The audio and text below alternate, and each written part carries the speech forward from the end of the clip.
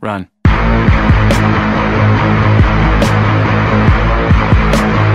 Всем привет! Сегодня у меня официальный выходной, поэтому я решил записать ролик с очередным музыкальным плагиатом, где мы вместе с вами послушаем и решим, плагиат это, совпадение или простое сэмплирование. И не нужно в очередной раз писать, что нот всего 7, что это типа вы не слышите и бла-бла-бла, что музыка купленная, ну и так далее. Да, возможно это и совпадение, ведь совпадение возможно. Но вы когда пишете хит, всегда помните о том, что до вас это может уже кто-то и написал. Итак, готовьте чай, кофе или что-нибудь покрепче. Я начинаю начинаю.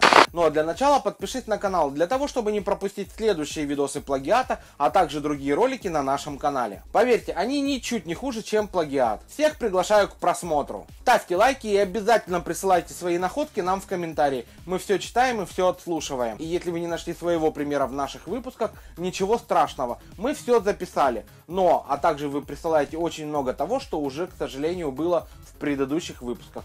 Будьте внимательны. Итак, пожалуй, начну с песни Артема Углярова. Это бывший участник группы Джокера, а также участник шоу «Хочу к Меладзе». Вообще, знаете, когда я услышал впервые трек «Тату на коже», мне сразу показалось, что песня очень похожа на Лену Темникову, не модная. Я решил тут же написать Артему в директе в Инстаграме, посмотреть, что мне ответит на это. Артем не ответил, что на эту тему он даже говорить не хочет, и чтоб Deep House в его понятии, он весь почти одинаковый. Ну что теперь, умереть, что ли, типа? Ну, лучшая защита это, как говорится, нападение. Итак, давайте сравним.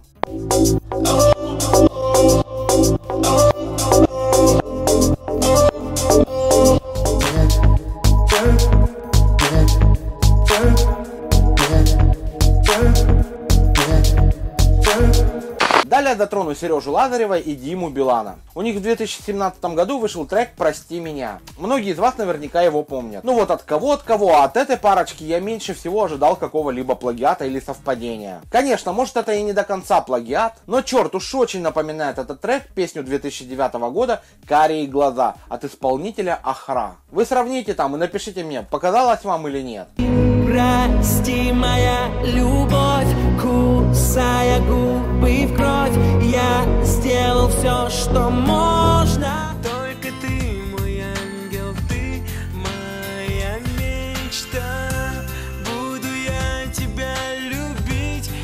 Ну а дальше вообще прям не заморачивание артиста. Ну, я так называю это. И причем, знаете, я даже не знаю, можно ли это назвать плагиатом, или тупо ремейком, или еще какой-то хренью. Но факт на лицо. Но причем, как по мне, ну и не только по мне, цвет настроения синий у Киркорова уж очень-очень-очень похож на песню «И биться сердце перестало» у того же Киркорова и Николая Баскова.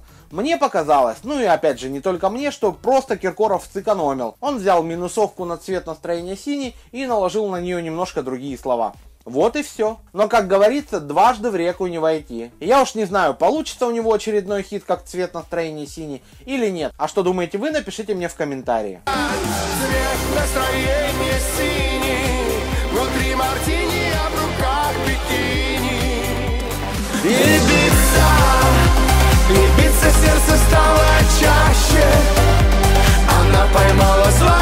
счастье В 2018 году мы услышали странный дуэт от группы Ленинград и Глюкозы. Песенка называлась «Жу-жу-жу». Но не только мне, но и также некоторым подписчикам показалась очень схожая эта песня с песней Мадонны «Sorry». Песня у Мадонны, кстати, вышла в 2006 году. Давайте сравним. Жу-жу-жу-жу-жу,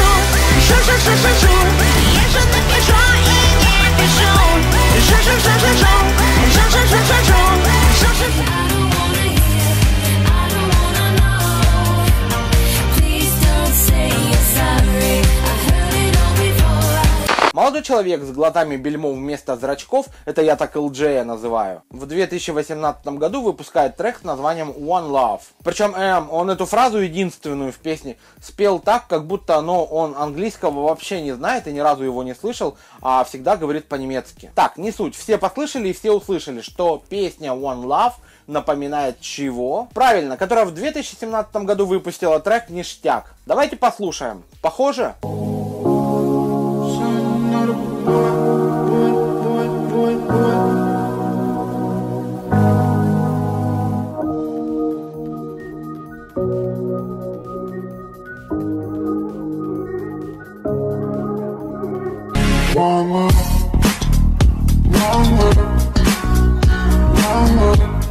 как ништяк Я супер свежий, я супер нежный для тебя. Ты не любимая группа «Руки вверх» в 2017 году записала и выпустила трек с названием «Плачешь в темноте». Ох уж эти артисты из 90-х. Лично мне песня напомнила песню «Ближе к небу», которая в 2009 году исполнялась фабрикантами Владом Соколовским и Дмитрием Бигбаевым. На тот момент они были дуэтом группы БИС. Послушайте, вы обязательно сходство заметите.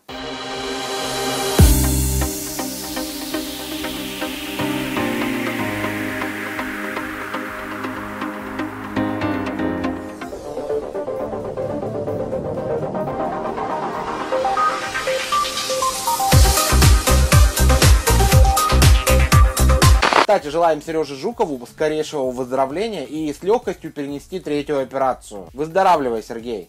Матранг. Да, этого артиста я, если честно признаюсь, не слушал никогда. Нет, конечно, безусловно, я знал, что есть такой исполнитель Матранг и что он поет некую странную песню с названием Медуза. Но вы не поверите, я реально его никогда не слушал. И вот тут послушал и, блин, подсел. Наверное, даже подумал я сделать полный обзор его недавно вышедшего альбома. Суть пока не в этом, а в том, что у него на альбоме есть трек, который называется «Там где». И уж очень похож этот трек на песню опять той же Елены Темниковой, которая только вышла в 2016 году и называлась «Тепло». Давайте сравним. Там, где нуждался в тебе так дико Остыло небо. И в дебрях зацвели гвоздики Мне нужно самую малость, тебя всего глоток. Ты знаешь, снова между нами пробегает ток Рокеры из группы B2 выпускают в 2017 году трек «Черное солнце». Ну ничего так, в стиле B2 песня. Ну и как оказалось, это песня в стиле группы OMP. У них песня есть такая Jedi Rise Hot and End. И это явно неправильно я произнес, поэтому название вот здесь. Короче, песня вышла в 2015 году, давайте слушать. В багровых тонах расцвела паранойя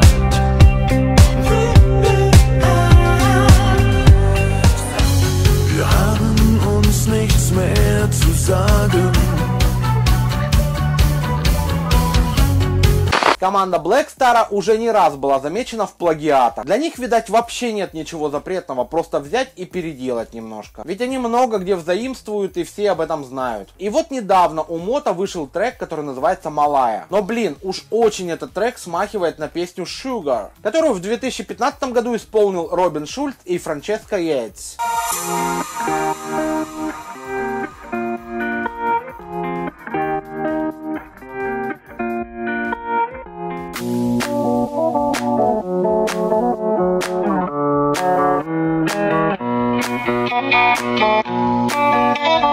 Наверняка помнят все Евровидения этого года. Помните Венгрию? Так вот, теперь сравните участника от Венгрии с песней 97 года у группы Король и Шут. Лесник она тогда называлась. Есть сходство. Я вообще, если честно, не понимаю, как на это Евровидение прошло реально очень много плагиата. Если вы знаете, напишите мне в комментарии.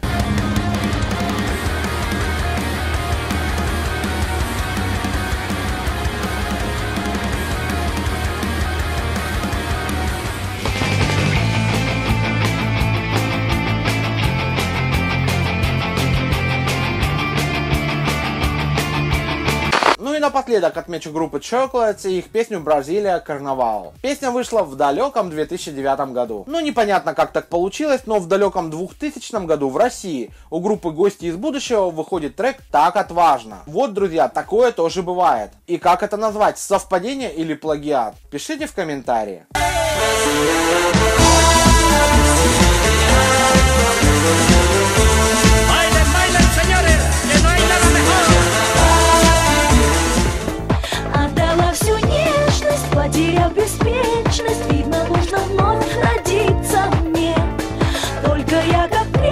На сегодня у меня все. Я очень надеюсь, что вам понравились приведенные мною примеры в данном выпуске. Спасибо всем тем, кто присылал эти примеры нам в комментарии. Не забывайте подписываться на канал, жмякать на колокольчик для того, чтобы не пропустить новые видосы. Ставьте лайки и пишите в комментарии о своих находах в плагиате. Не забывайте смотреть остальные ролики на нашем канале, если вы еще это не сделали. Выбирайте, жмите, смотрите. Всем хорошего настроения, пока!